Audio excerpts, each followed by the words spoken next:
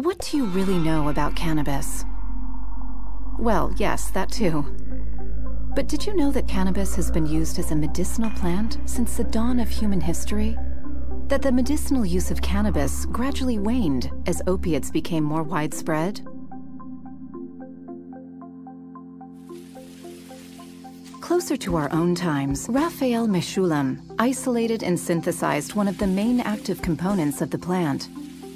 The cannabinoid THC followed shortly afterwards by CBD. He discovered that this organic compound has the incredible ability of connecting molecularly with certain receptors housed in many of the cells in our body. This cannabinoid has sometimes been dubbed the key to a molecular padlock.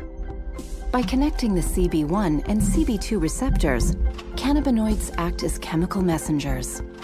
Mechoulam and his team wondered why there was a specific receptor in our bodies for this type of molecule. In 1992, a cannabinoid was finally located that is secreted naturally by our body. It was called anandamide. Subsequently, another similar molecule was discovered, also in our organism, which was called 2-AG. And it was discovered too that anandamide forms part of a wider system of intercellular communication in our bodies.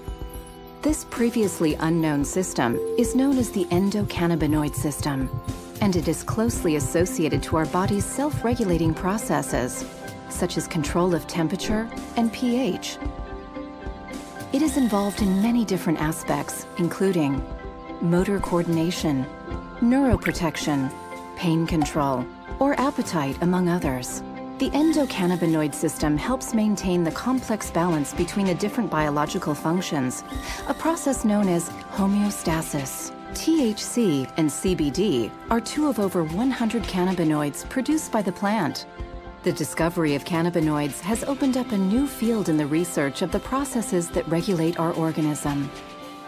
We know that some cannabinoids have therapeutic applications, which make them very useful in the treatment of pain, cancer, or HIV. Cannabis has been part of human life for thousands of years and has tremendous properties beyond its mere recreational use.